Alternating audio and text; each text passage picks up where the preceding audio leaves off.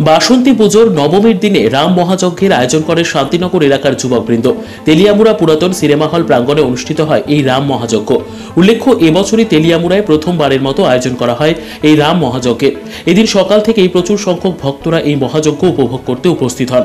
এই রামযজ্ঞ আয়োজকরা রবিবার সন্ধ্যায় ভগবান রামের মূর্তি নিয়ে এক বর্ণাঢ্য শোভাযাত্রার আয়োজন করে।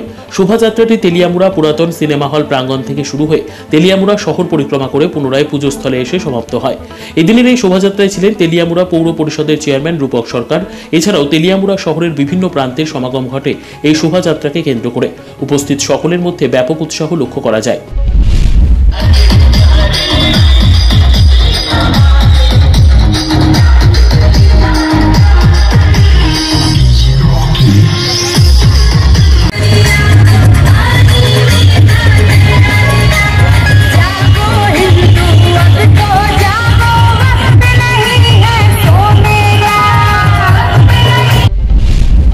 নিজস্ব প্রতিনিধি রিপোর্ট দুরন্ত টিভি।